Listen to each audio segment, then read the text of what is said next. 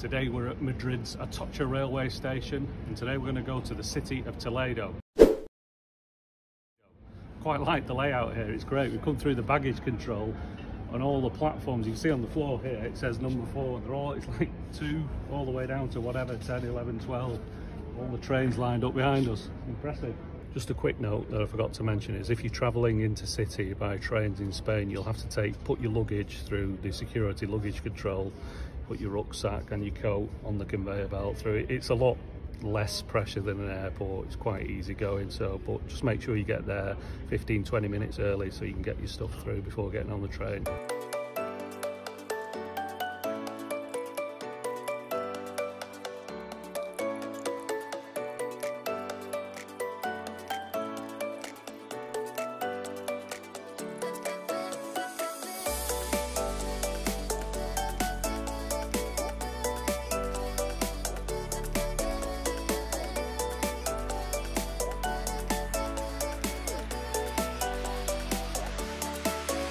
Just come out of Toledo's very impressive uh, train station. Now we're going to head, there's an escalator that will take you from the base here up to the main part of the city.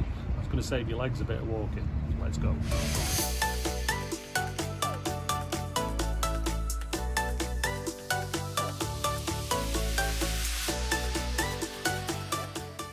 So we're a five or ten minute walk from the train station here in Toledo. You see behind me the first great view of the city. So an easy walk across the bridge there through the gates and further on up into the city itself.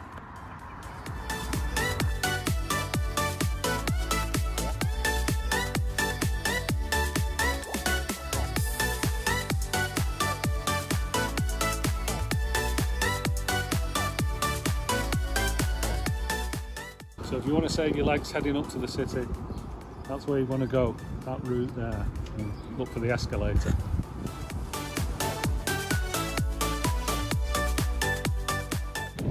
Know we're on the right path.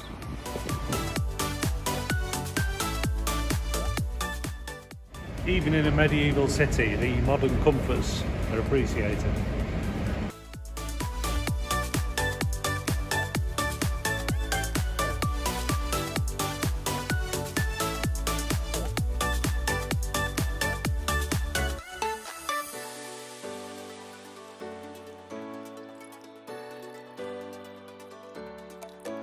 So by travelling to Toledo today, we've come to another one of Spain's 16 regions, La Mancha.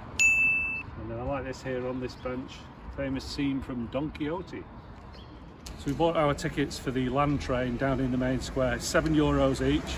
Just go walk about 100 metres up the hill. By the side of down down here, you can see the train waiting. We decided to do it first because it's something we're really looking forward to but the train goes out to the Mirador which is the lookout and it stops for five minutes and you take photos. So we thought we'd get all that in and then we've got the rest of the time to explore in Toledo let's go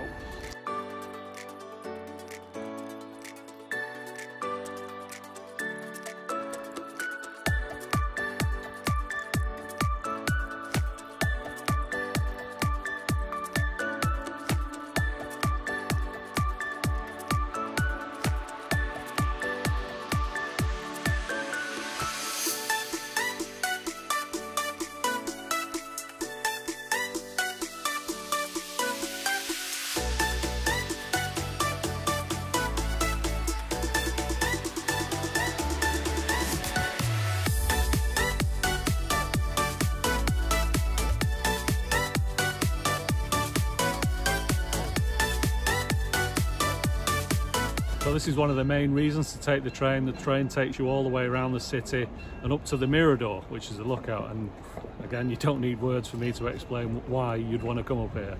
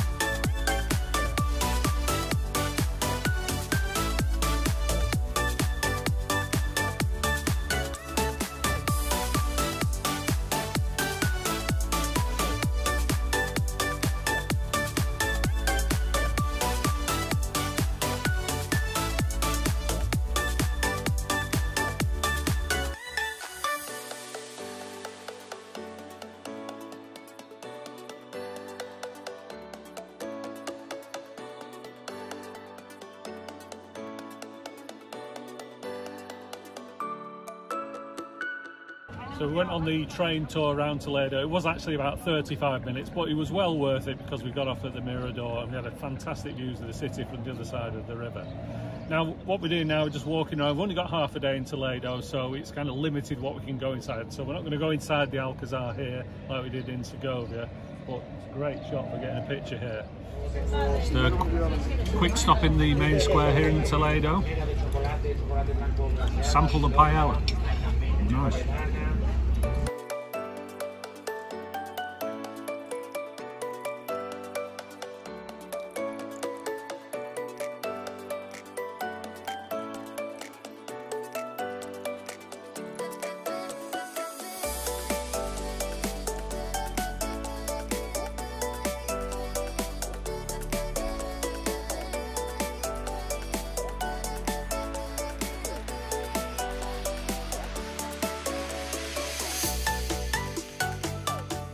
This is Toledo Cathedral. Now we're here on a Sunday so we can't go in because of the masses taking place going after 2 o'clock in the afternoon.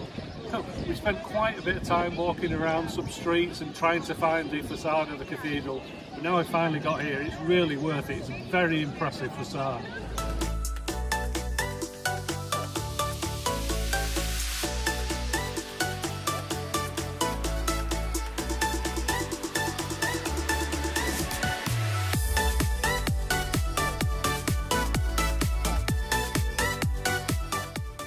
One thing that's worth doing here in Toledo is walk around some of the side streets. Lots of cobbled streets that twist round corners. Very effective, very atmospheric, and you get some really nice shots with the sunlight coming down at certain angles and certain doorways.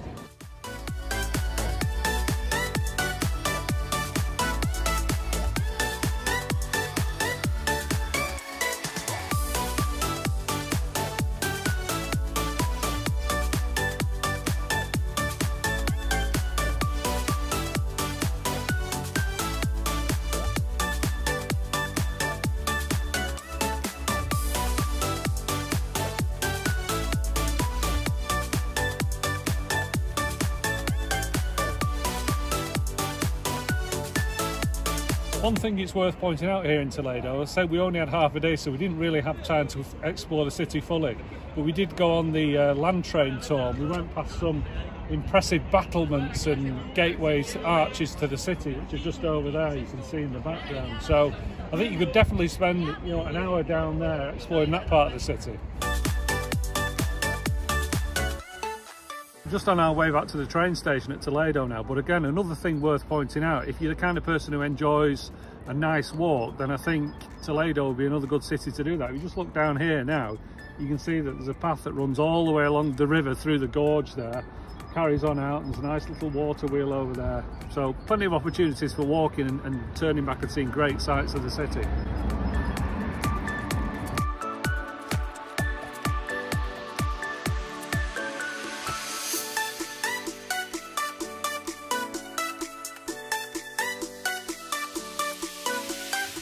So that was our visit to Toledo. I have to say I am really impressed. We watched a few videos on YouTube before visiting here and it set our expectations lower because a lot of people said, well, you know, it's okay, but there's not many places to see. Now, admittedly, we've only spent four hours here because of the limited time we've got and the train times. We didn't actually go inside any buildings, but I think that if you stayed here for a full day, you could go in the Alcazar, you could go inside the cathedral, and the, the streets, there's so many close streets and narrow streets, cobbled streets you can walk down. You can spend a lot of time weaving your way through there. Um, the River Gorge here, as we went out on the, the train, you can see that there's plenty of opportunity for walking along the gorge. So when you add all that up, you could easily spend a day, possibly even a night here in Toledo, and you wouldn't get bored. It really has risen above expectations. During this trip to Madrid, we visited both Segovia and Toledo. Now I would say that Segovia has the more impressive sites, for example the aqueduct and the Alcazar. But as a city, I think Toledo every bit matches Segovia. So if you've got the time, visit both the cities. You've only got time for one visit, go to Segovia. But wherever you choose, you can have a great time because there's so much to see in this region around Madrid. So from Toledo, thanks for watching Rob on Holiday. If you enjoyed the videos, please subscribe and keep an eye out for more great videos.